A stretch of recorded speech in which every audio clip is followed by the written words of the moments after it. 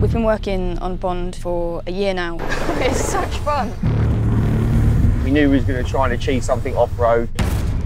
Straight away, it had to be the new Defender, which everybody's been eagerly awaiting. It's pretty much standard as it would be at the factory. Everything that we've given it so far, it's taken. I'd do this every day if I could.